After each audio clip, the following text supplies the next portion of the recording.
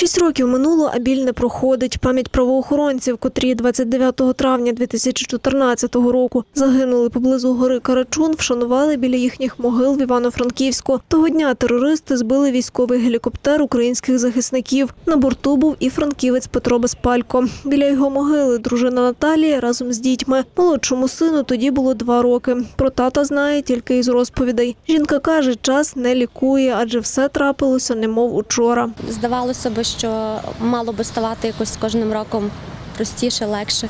Думала важко, тому що діти ще маленькі, а вони підростуть, буде простіше, але взагалі нічого не забувається. І таке відчуття, що це не 6 років минуло, а тільки е, буквально вчора мені про це сказали. Чим старші діти, тим більше вони потребують тата, тим більше хочуть його підтримки. Того дня загинули 12 українських захисників. Половина з них були з Прикарпаття. Працівники спецроти міліції, колишні беркутівці. Петро Безпалько, Василь Семенюк, Володимир Шарабуряк, Володимир Лисенчук, Петро Остап'юк та Віктор Яков'як. Матір Василя Семенюка каже, навіть не знала, що син у зоні бойових дій. Він навіть не признався мені, що він пішов. Він не признався, він знав, що мама не буде знати.